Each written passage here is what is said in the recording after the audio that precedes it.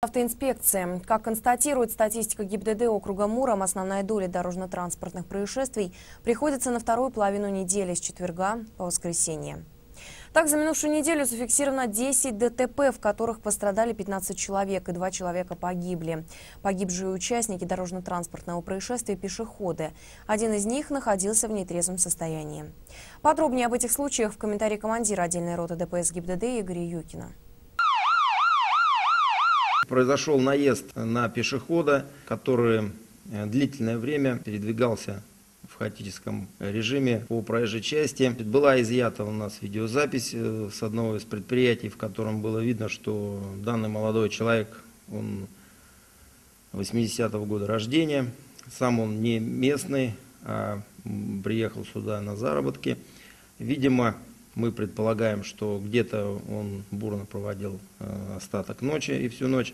И под утро в сильном нетрезвом состоянии э, продолжительное время ходил по проезжей части. В конце концов он уселся на, э, на обочине и начал куда-то звонить.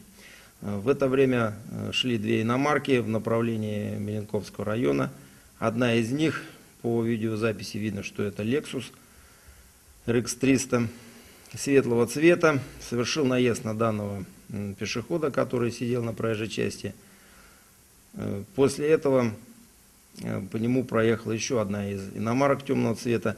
К сожалению, э, марку мы по видеозаписи различить не могли. В данный момент производится у нас проверка всех автомашин марки Lexus 300 модели светлого цвета. Если кому что-либо известно по данному происшествию, э, также просим позвонить по контактному телефону 02 или 40422 и сообщить сотрудникам полиции. Произошло еще одно э, дорожно-транспортное происшествие, повлекшее э, гибель пешехода Мерседес под управлением женщины 54 -го года рождения, жительницы города Мурма, которая управляла Мерседесом, совершила наезд на э, пожилую женщину 24 -го года рождения, которая переходила проезжую часть в неустановленном месте. От полученных ран через э, два дня после поступления в лечебное учреждение э, пожилая женщина скончалась. В данной ситуации производится следствие, которое определит э, долю вины водителя. По словам Игоря Юкина, по-прежнему очагом аварийности по статистике остается перекресток улиц Льва Толстого и Октябрьской. На минувшей неделе там зафиксировано два ДТП. На этом перекрестке столкнулись э, автомобили отечественного производства ВАЗ-21099 и ВАЗ-2105 модели.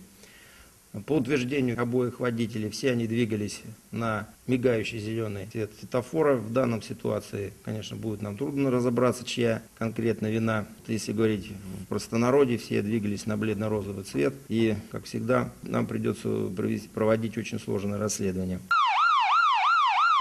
Volkswagen и Тускон черного цвета также двигались э, перпендикулярном направлении, произошло столкновение. Оба утверждают, что завершали. Один утверждает, что начал под зеленый свет светофора свое движение, другой утверждает водитель, что наоборот заканчивал под мигающий зеленый. Также будет производиться проверка. В этом случае получили ранение 5 человек, поступили в лечебное учреждение. Завершением аварийной статистики минувшей недели стал ДТП на повороте на стационарный мост через реку Ака. В воскресенье в 6 часов утра ВАЗ-2107 с тремя пассажирами, проживающими в Савослике, двигались по направлению из Мурома. Водитель, как позже было установлено, находившийся в состоянии алкогольного опьянения, не справился с управлением. В результате пострадали три человека, так как все участники ДТП были не пристегнуты ремнями безопасности.